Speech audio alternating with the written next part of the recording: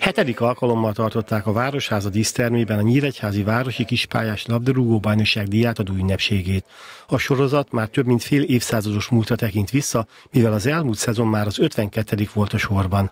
A Városi Stadion hat kispályáján nyolc különböző erősségű, valamint három oldboys csoport csapatai játszanak a mesnapokon augusztus közepétől június végéig. Több mint 2000 mérkőzést játszottunk le, ebbe természetesen benne vannak a terembajnoki mérkőzések és a strandfoci is.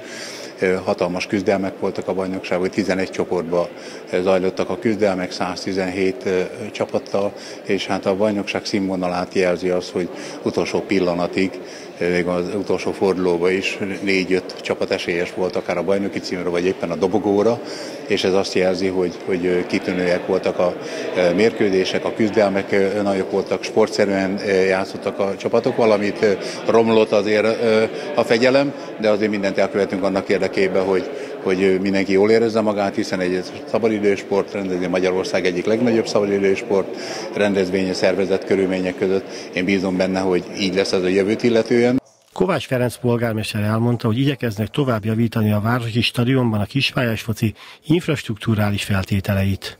117 csapat vett részt az elmúlt bajnokságban, 4800 játékossal, jól mentek a meccsek, körülmények, ugye most már évek óta jók, de mindig jönnek ötletek. Tavaly a szemetes szerencéket szeretük fel, most jelezték nekem, hogy ha kispadokat tudnánk a pályák mellé, az milyen jó lenne a, az öltözéshez.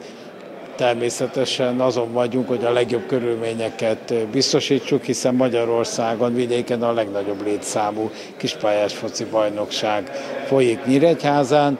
A következő szezon augusztus 12-én rajtol. Addig is pályára léphetnek azonban a kispályás csapatok, ugyanis július 18-a és 24-e között rendezik meg Sóstón a hagyományos strandfoci bajnokságot.